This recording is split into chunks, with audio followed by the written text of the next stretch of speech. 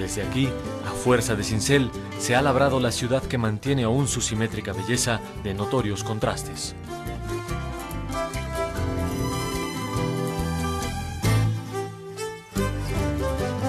La singularidad de esta ciudad radica en la belleza de sus perfiles, fruto del aporte europeo, el material volcánico, la influencia indígena y los terremotos que determinaron la robustez de sus muros.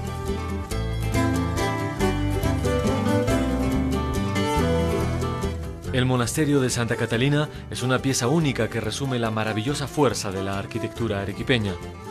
La ciudadela que abriga el convento es el principal atractivo de Arequipa.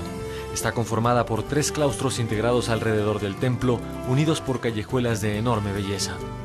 El monasterio, fundado en 1578, ha sido remodelado varias veces hasta el siglo pasado. Otro complejo notable por su belleza y por ser el mayor ejemplo del barroco mestizo es el de la Compañía de Jesús. La fastuosa ornamentación de su fachada, columnas y arquerías es la obra de los mejores alarifes locales durante la colonia.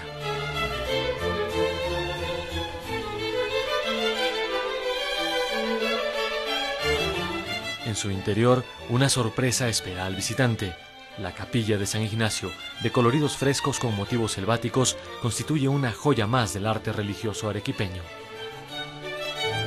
Su comida es sin duda el más sabroso aporte de la cultura arequipeña, que complementa la enorme variedad de la cocina peruana.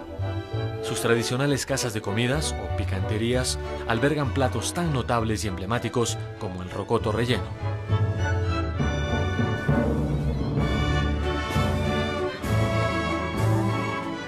Pero la presencia más sobresaliente en la comida arequipeña es el camarón, un crustáceo de río propio de la región cuya carne es inapreciable y se disfruta en más de 16 platos. Entre ellos sobresalen las frituras y el legendario chupe de camarones.